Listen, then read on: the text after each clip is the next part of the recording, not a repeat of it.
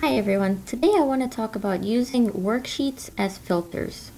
So here we have a visual that shows the sum of profits by product subcategory. The larger or darker blue colored circles represent the subcategories with higher levels of profit.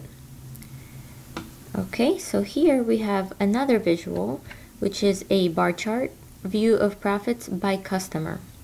So one cool thing we can do in Tableau basically is using worksheets as filters for other worksheets. So let me show you how you can do this. Let's say we want to use uh, the profit by sub product subcategory as a filter for customer profit details. One quick way you can do it is you can do a drop down and just say use as filter and we're done. Let's say we want to see the customers for tables or binders and binder accessories or telephones and communications. As you can see, the data on the right hand changes as I click various circles or product subcategories.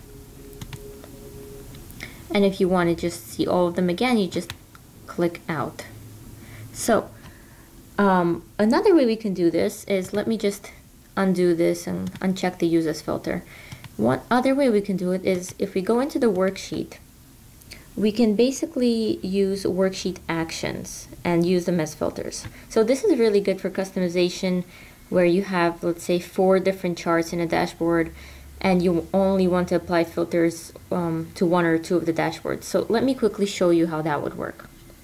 So you go up to worksheet, you click and you select actions.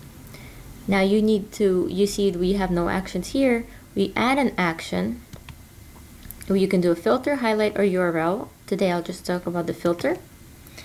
And here you have various options. So for beginners, we need a source sheet. So we're thinking to use the profit by product subcategory as the source. We can change the name here. We can call it filter one product or something. You can call it anything you want.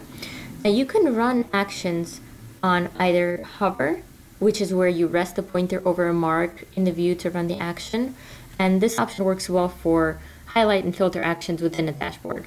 You can use select where you click on a mark just like we did in the example um, in order to run the action.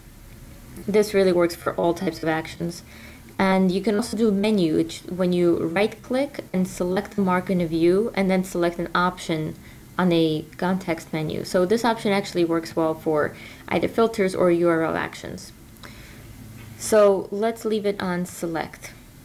And now you specify what to do when, um, when the select is cleared of the view. So when we had the select um, cleared, we left it at show all values. You can also exclude values or leave the filter.